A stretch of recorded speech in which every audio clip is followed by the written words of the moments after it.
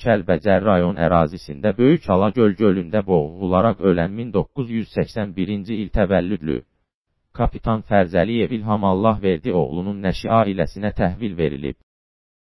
Hazırda onunla ailəsinin yaşadığı Gəncə şəhərində vida mərasimi keçirilir. Mərasimdə mərhumun yaxınları ilə yanaşı, ictimaiyyət nümayəndələri, hərbçi yoldaşları və sakinləri iştirak edir. O Göygöl rayon ərazisində yerləşən Kəlbəcər Şəhidlər Xiyabanında dəfn olunacaq. Qeyd edək ki, İlham Fərzəliyev Kəlbəcər rayon Tövlədərə kənd sakinidir. Ailəli olub və bir övladı var. O vətən müharibəsinin iştirakçısı olub və Kəlbəcərin azad olunmasına görə medalı ilə təltif edilib.